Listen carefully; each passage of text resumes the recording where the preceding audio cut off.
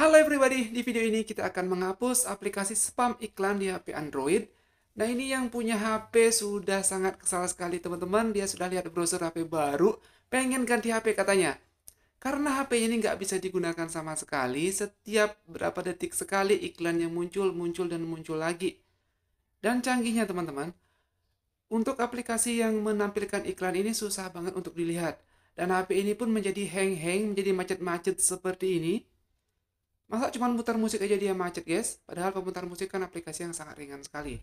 Dan ini teman-teman, canggihnya aplikasi tersebut dia bisa menyembunyikan diri di menu multitasking kita. Dan lagi-lagi muncul lagi iklan yang lainnya dalam beberapa detik kemudian. Dan selalu seperti ini. Nah kadang-kadang untuk baca SMS yang nggak bisa. Karena iklannya selalu bermunculan guys. Jadi di sini sebenarnya itu caranya sangat gampang sekali Pertama-tama yang kita lakukan adalah mendeteksi aplikasi penyebab iklan ini dengan cara menekan tombol multitasking secara langsung dan teman-teman bisa lihat nama aplikasi yang menampilkan iklan ini sudah muncul. Nah, ini dia namanya itu uh, pengumpul debu ya, pengumpul debu super kalau nggak salah. Namanya itu pengumpul debu, cuman di sini ada beberapa aplikasi yang akan menampilkan iklan seperti ini, bukan hanya pengumpul debu ini. Nah, langkah selanjutnya kita itu harus mencari tahu lagi aplikasi-aplikasi yang lainnya. Oke, teman-teman. Di sini HP-nya saya diamin aja seperti ini dan aplikasi iklannya itu muncul la lagi dengan sendirinya seperti ini. Nah, di sini kita bisa klik lagi tombol multitasking tersebut untuk melihat uh, aplikasi apa yang menampilkan spam iklan ini. Dan ini sangat mengganggu sekali, guys. Banyak orang yang sudah frustasi gara-gara hal ini dan ini bukan salah satu yang terjadi ya. Dan itu ya untuk aplikasi eh, tombol kembalinya itu dibuat tersembunyi seperti itu. Jadi kita itu secara tidak langsung akan mengklik installnya teman-teman. Nah jadi kita klik tombol multitasking untuk melihat uh, aplikasi yang tadi tapi itu sama aja ya. Yang tadi itu masih pengumpul debu. Dan di sini saat nonton TikTok dia muncul lagi. Nah ini semoga aplikasi yang lain teman-teman. Dan ini ada tiga aplikasi nih yang menampilkan spam iklan kayak gini. Kemudian kita lihat dulu yang ini nih, ini ditampilkan oleh aplikasi yang mana. Untuk menekan tombol kembalinya itu nggak bisa guys, itu disembunyikan. Ini aplikasi canggih banget ya. Pokoknya kita kita mau kembali sini nggak bisa, otomatis kita harus tekan tombol multitasking. Nah, sekarang bisa dilihat nih teman-teman. Nah, itu dia namanya apa sih pember, uh, speaker cleaner apa gitu namanya? Waduh teman-teman udah ketemu nih yang nomor dua. Jadi ada tiga aplikasi yang nomor dua sudah ketemu. Dan pada saat kita scroll scroll kita buka buka menu HP aja iklannya muncul lagi. Dan di sini teman-teman bisa lihat iklannya itu menyatakan kalau aplikasi ini adalah aplikasi pembersih gratis. Nah yang bisa membuat HP kita itu menjadi uh, bersih lah gitu menjadi lebih keren gitu ya tidak ada iklan katanya. Aduh, bersihkan secara menyeluruh guys. Padahal kalau kita install aplikasi tersebut, malah iklan terus yang akan muncul, muncul, dan muncul lagi. Nah, itu dia teman-teman. Nama aplikasinya yang munculkannya sudah muncul lagi. Tapi kayaknya masih yang tadi ya. Yang nomor tiga belum muncul guys. Tapi di sini kita sabar dulu, kita harus cari lagi aplikasi yang menampilkan iklan ini. Kemudian kita akan hapus.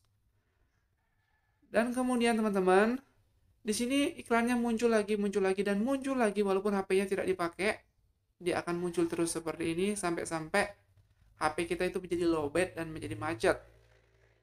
Nah, di sini kita biarin dulu, kita lihat dulu ya untuk uh, aplikasi yang akan menampilkannya. Dan by the way teman-teman, kalau misalkan kita klik install sekarang, di Play Store kita akan diarahkan dengan aplikasi bernama Quick Speaker Cleaner. Nah, ini dia, Quick Speaker Cleaner ini yang menyebabkan iklan itu muncul-muncul terus. Dan yang paling parah banget, ada orang-orang yang malah ngasih bintang bagus tuh. Dia kasih bintang 3, padahal dia bilang iklannya muncul terus.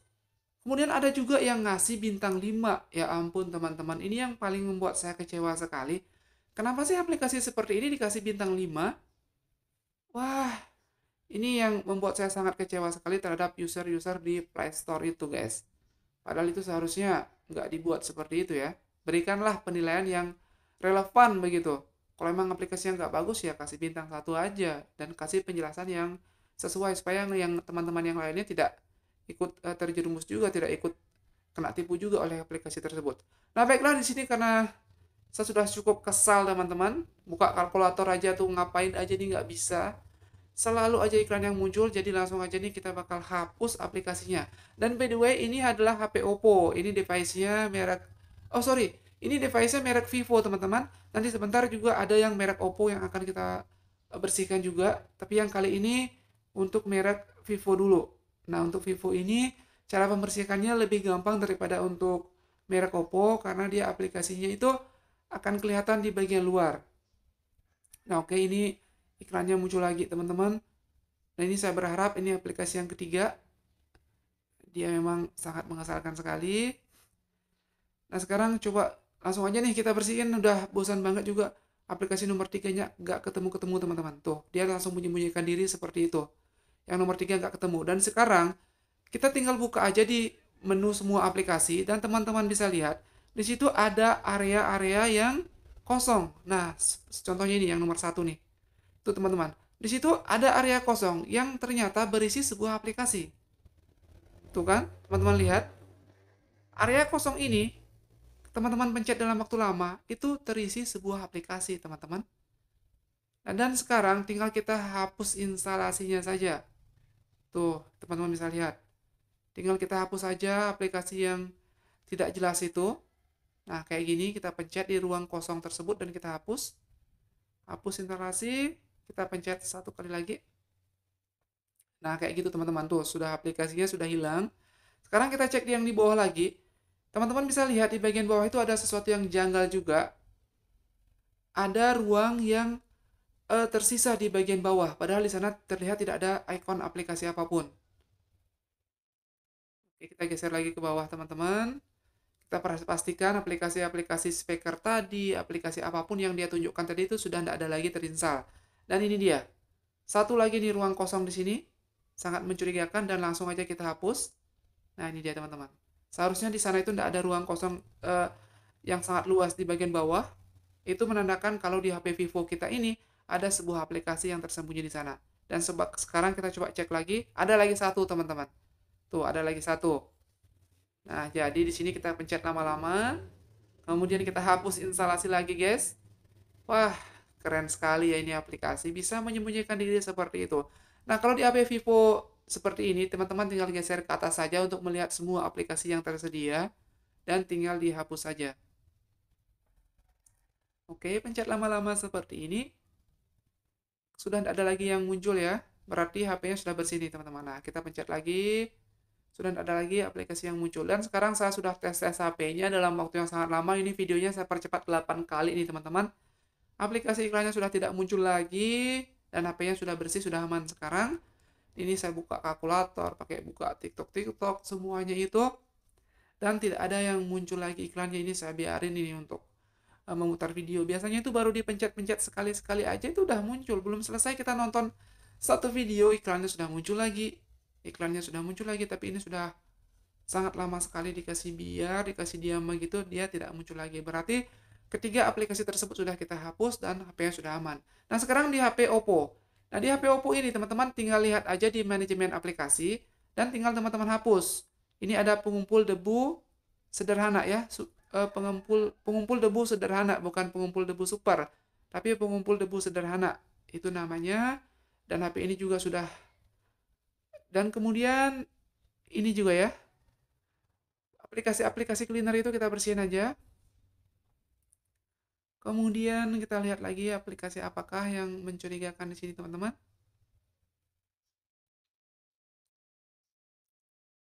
Oke, sepertinya sudah nggak ada lagi ya. Nah, teman-teman, ini kita perhatikan lagi. Kalau misalkan ada yang mencurigakan, kita hapus saja. Pengumpul debu, debu super itu, apa? Pengumpul debu sederhana itu yang paling aneh banget. Kok aplikasi pengumpul debu sih? Oke guys, sepertinya ini sudah aman ya, sudah nggak ada lagi. Dan saat HP ini saya tes juga sudah nggak ada lagi muncul iklan. Berarti hanya ada satu di sini aplikasi yang menyebabkan spam iklan tersebut, yaitu pengumpul debu sederhana. Dan sekian video kita kali ini teman-teman, semoga bermanfaat dan bisa berguna. Sampai jumpa lagi di video yang lainnya. Jangan lupa untuk di subscribe channel ini.